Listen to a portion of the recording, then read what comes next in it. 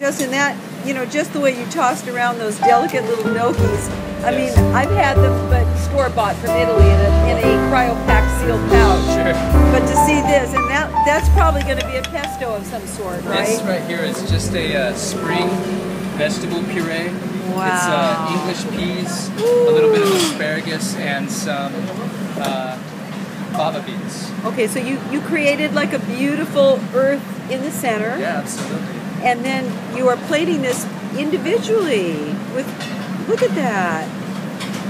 The key, of course, is to keep that continuity and that artistic sort of uh, realm of how you build and serve, right? We, yeah, exactly. I mean, So not every dish is exactly the same. No, each dish we try to challenge ourselves, and even after seeing that dish plated uh, a hundred times, then the staff we, we alter it some way so that the food is constantly evolving um, to make it to satisfy us. Yes. Maybe it's the first time the guest has seen it, Yeah. but maybe we've seen it a, a, a multiple multiple amount of times. So just to satisfy us, we love to change the dishes and keep them constantly evolving. Right. So And speaking of uh, ingredients, the beginning stages of having a, uh, a garden here on property, which um, is, in my opinion, is, is, is one of the great ways we can distinguish ourselves from all the other. There's so many great Bay Area restaurants in San Francisco and, and Marin restaurants,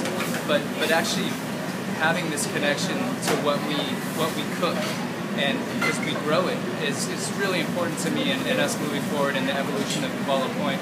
Um, it's very this property is so inspiring as a chef but to take it to the next level we want to also be inspired by these vegetables that we're growing. And you know we're, we're not necessarily focused on growing tomatoes and things like that here because we can go down to the farmers market here in Santa Fe and buy them from our friends.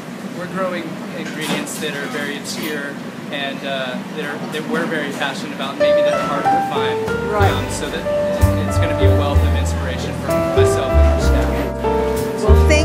much for this wonderful tour, and we can't appreciate it enough. It's just great. Oh, and by the way, Justin, uh, when you retire that white uh, outfit that you have on, and you get back into your car and you cruise down the street, and you're going home, and you're hungry, and you don't want to postpone your wife. Where do you go? What do you eat?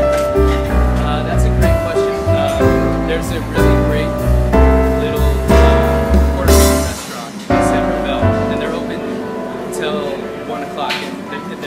called Soulful.